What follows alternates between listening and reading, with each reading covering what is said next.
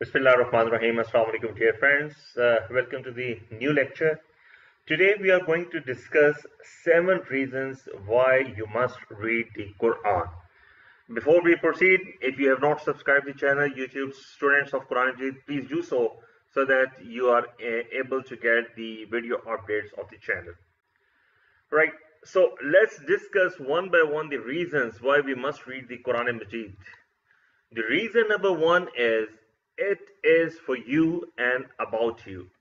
Allah Ta'ala revealed in Quran Majid, A'udhu billahi minash shaitanir rajim, Bismillahir Rahmanir Rahim, لَقَدْ أَنزَلْنَا إِلَيْكُمْ كِتَابًا فِيهِ ذِكْرُكُمْ أَفَلَا تَعْقِلُونَ We have revealed for you, O people, a book in which is a message for you.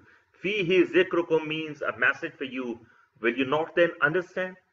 Now this ayah tells us that each and every one out of us is mentioned in Quran Majid.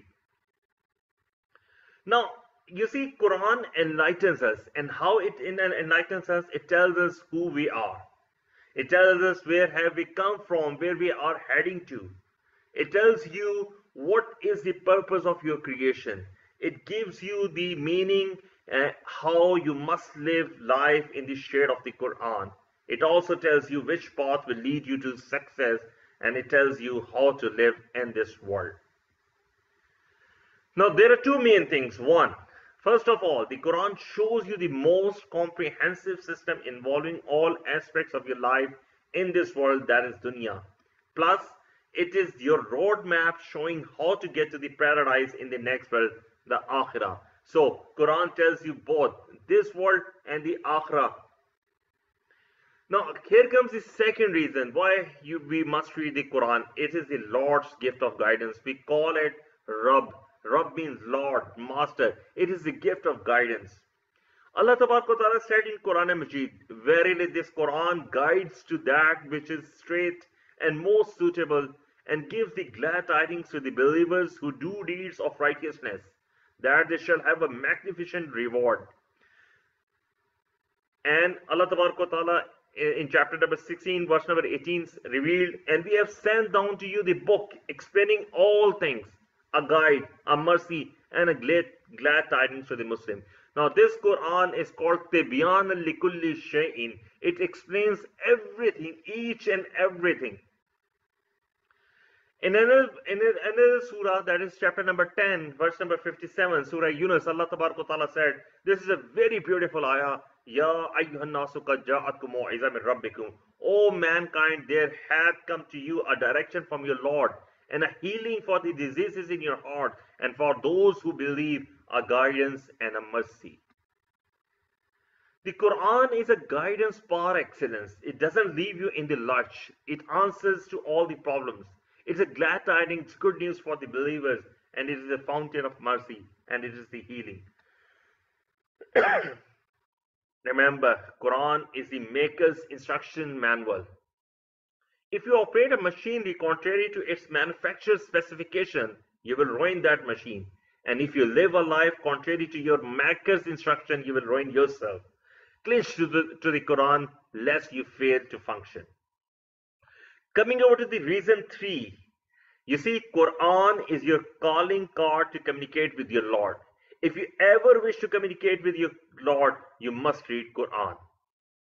Allah Ta'ala, uh, Prophet, Holy Prophet Sallallahu Wasallam said that it is a Hadith Qudsi. Allah said, I have divided prayer between myself and my servant into two halves, and my servant shall have what he has asked for. Now we are talking about the Surah Al-Fatiha. Allah said, when the servant says, Alhamdulillahi Rabbil Alameen, Allah says, my servant has praised me. And when he says, Ar-Rahman Ar-Rahim, Allah says, my servant has extorted me. And when he says, Maliki Yawmiddin, Allah says, my servant has glorified me. And no one, uh, and on one occasion he said, my servant has submitted to my power.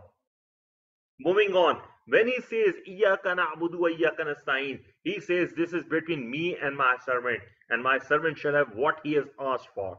And when he says, Ihdina sirat al-mustaqim sirat al-ladhina an'amta alayhim ghayr al-maghdubi alayhim walad he says, this is for my, my servant, and my servant shall have what he has asked for. Now this hadith is narrated by Hazrat Abu Huraira This is Hadith Qudsi mentioned in Sahih Muslim, Muwatta, Tirmizi, Abu Dawud, An-Nisai, and Ibn Majah. What a beautiful way to converse with one's Lord. Now this hadith shows us that Allah Ta'ala listens to us. Allah Ta'ala replies to us.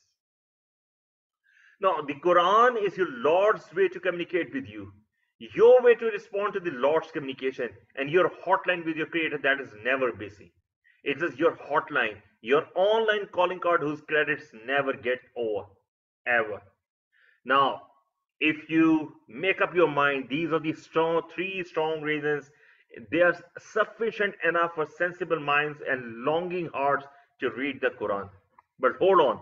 Sometimes some brains are not satisfied. They ask for stronger reasons, scientific reason in today's so-called materialistic world. Let's see. Reason number four. The Quran is inimitable. Now, Quran has challenged to disprove the inimitability of Quran was presented to the Arabs and mankind in three different stages. In the stage number one, Allah Ta'ala revealed in chapter number 17, verse number 88, say, if the whole of mankind and jinns were to gather together to produce the like of this Quran, they could not produce the like thereof, even if they backed up each other with help and support. Now, this was the phase one of a challenge given to all mankind to produce or reproduce any surah of Quran or any part of the Quran like this. In the second uh, stage, Allah Subhanahu Wa Taala has given the challenge to produce 10 surahs, 10 chapters of Quran like this.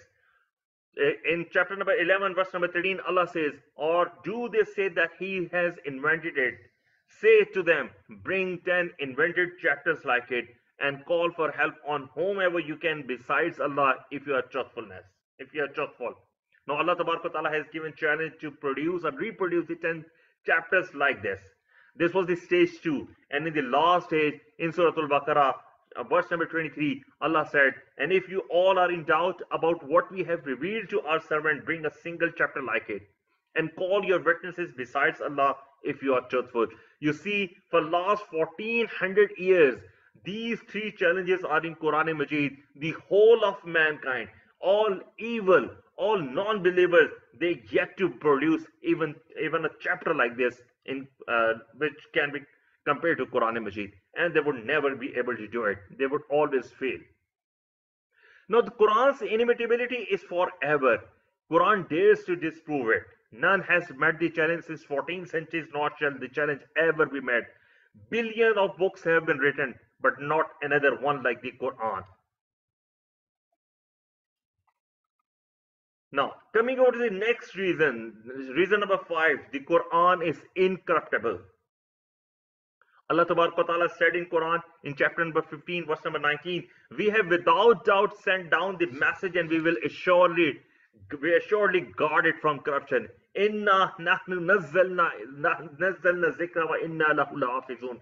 This is the most emphatic way of saying the sentence in Arabic language. Allah is the guardian of Quran. The Quran is the only revealed book available on the face of earth which is pure and intact since the time it was revealed. Nothing was added to it, nothing was removed from it, nothing was changed in it. When Allah is its guardian, none can tamper it ever. Reason number six, the Quran is unsurpassable. Allah Ta'ala said in chapter number 33, verse number 40, Muhammad is not the father of any of your men, but he is the messenger of Allah and the seal of the prophets, and Allah has full knowledge of all the things. Allah Ta'ala called Holy Prophet Khataman Nabiyyin. And in another verse, chapter number 77, verse number 50, Allah said, فَبِأَيِّ حَدِيثٍ بَعْدَهُ يُؤْمِنُونَ Then what message after that will they believe in? The Quran is the last and final revelation. Allah gave Torah to Prophet Musa. When he sent Prophet Isa, he gave him a different book that is Injil Bible. Coming of another prophet means the probable revelation of another book. The reality is that the chain of prophets ended with Prophet Muhammad sallallahu alaihi wasallam as he is the seal of all prophets. No other book will ever come from Allah to surpass the Quran. And reason number seven, and that is the last reason, the Quran is indisputable. Allah Ta'ala said in Quran, in chapter number 4, verse number 82, Quran. Do they not ponder over the Quran? Had it been from anyone other than Allah, they would surely have found therein much contradictions. In another place, in chapter number 41, verse number 53, Allah Ta'ala said, سَنُرِيهِمْ آيَاتِنَا فِي الْآفَاقِ وَفِي أَنفُسِهِمْ حَتَّى يَتَبَيَّنَ لَهُمْ أَنَّهُ الْحَقِّ We will show them our signs in the universe and in their own selves until it becomes manifest to them that this, the Quran, is the truth. The Quran is a living miracle. The Quran has withstood the test of time and scrutiny. It speaks of the past and it turns out to be the right. It speaks of the future and it turns out to be right. It speaks of scientific fact and it amazes the scientists. Every other book needs to be revised in accordance with modern knowledge, not so the Quran. The Quran is unique in every single aspect. Now, if I summarize, I would say the Quran is for you, for me, for each and every one out of us, and it is about us. The Quran is divine guidance. It is the Maker's instructional manual. It is our calling card to talk to, uh, to our Creator. Quran is inimitable. Quran is incorruptible. Quran is unsurpassable. And Quran is indisputable. Now, I would ask you a question. Everyone out of you, we should ask this question from ourselves. Should it be told that we must read the Quran with understanding or not? I leave it to your common sense if we we uh, believe that Quran is from Allah Ta'ala, then we must make an effort to understand Quran Majid. We must make an effort to have a strong connection with Quran Majid. We must make an effort to read, to recite Quran Majid on daily basis.